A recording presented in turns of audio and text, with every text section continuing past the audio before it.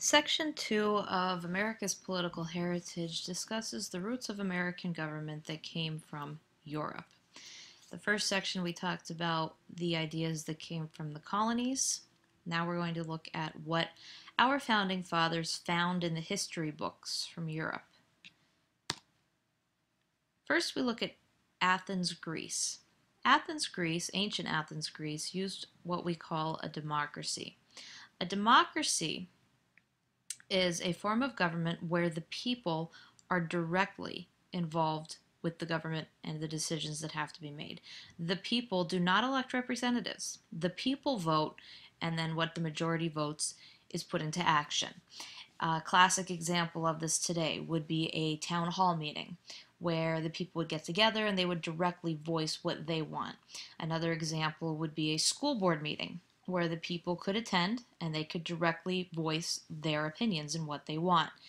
And even jury duty, where a group of people would vote and whatever they vote, majority or unanimously, would be put into effect pertaining to that trial. The people cannot feasibly go to the United States Congress in Washington D.C. to to voice their opinions. We we can't realistically go to our, our state capitals and voice our opinions directly. This is usually done on a smaller scale. Most people think that the United States is a democracy when they when they're asked what type of government that we have, but in reality this isn't true. We are more of a republic. A republic is a form of government where the people choose representatives to make the big decisions in government. So when we talk about our state Senate and our state assembly house. That's our state Congress located in Harrisburg, Pennsylvania. We elect representatives to make our government policies because there's too many people to directly vote and make those decisions for the state of Pennsylvania. So we elect representatives, and each of the different districts that we reside in have their own representatives. For example, I live um, north of Hazleton, and my Pennsylvania House Assembly member is Phyllis Mundy, and my Pennsylvania Senator is Lisa Baker. This also applies to our federal government. The people of Pennsylvania and the people in each of the other 49 states elect representatives who go to Washington, D.C., and they work in the Senate and the U.S. House of Representatives to make the laws for the country and the people that we elect from Pennsylvania, we hope that they're going to vote for policies and laws that benefit the people in Pennsylvania. Um, for example, our two U.S. senators that the people of Pennsylvania have elected are Bob Casey and Patrick Toomey. Bob Casey was elected in 2006, and Patrick Toomey was elected in 2010. And our Congress Pennsylvania is divided into different districts, and I live in the 10th district, and my U.S. Congress member is Tom Marino. But all of those those gentlemen put together are the representatives that the people have elected to make the policies in our national government. This is a republic. So in reality we are a democracy on a smaller scale and we are a republic. So our our country is a democratic republic. And these ideas came from ancient Athens and ancient Rome, which is located in Italy. We also took ideas from the history of Great Britain. The main idea to limit the power of the government came from limiting the king's power. In 1215, a group of nobles, who would basically be the elite in England, the rich, um, used their forces to persuade the King of England at that point in time to sign a document called the Magna Carta.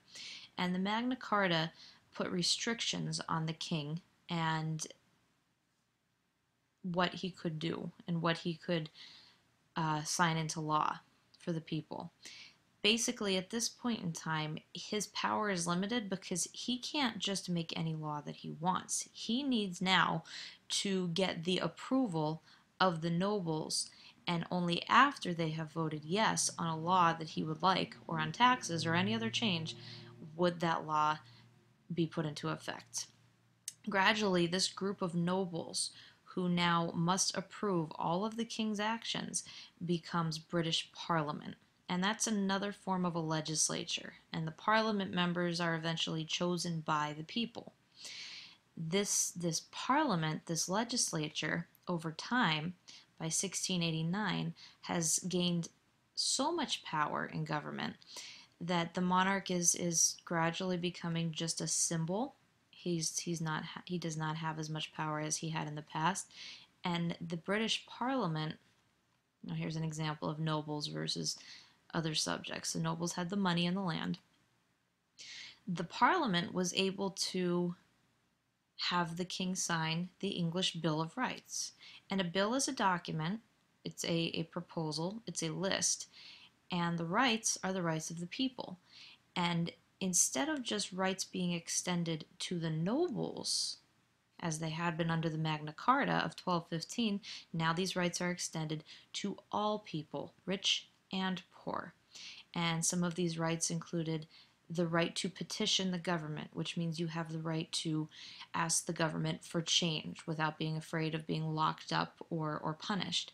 It also gave people the right to freedom of speech and the right to trials by jury, in the past, if you were arrested in England, you sometimes were not told why you were arrested, your family was not notified, and you may have been locked in a cell and not given the chance to defend yourself, not given the chance to bring evidence to prove your innocence, and you might find yourself there for the rest of your life without any any logical reasoning.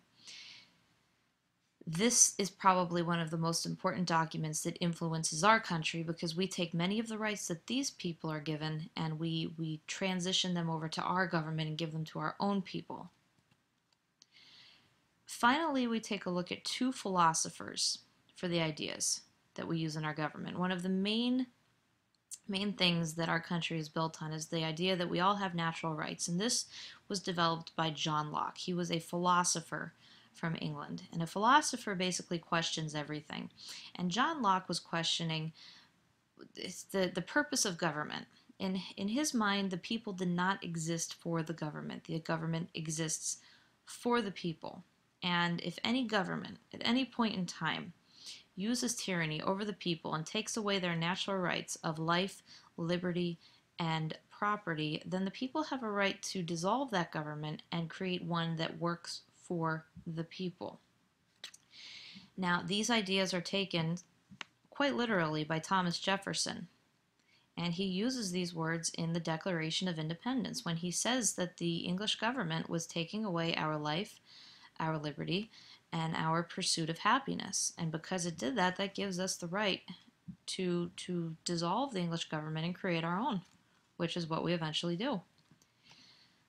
The final idea that we use in our government today came from a man called Baron de Montesquieu. He was from France. He was another philosopher. And he originated the idea of separation of powers. Separation of powers, simply put, is instead of giving all power to one man, for example, the English monarch, it should be divided into three sections.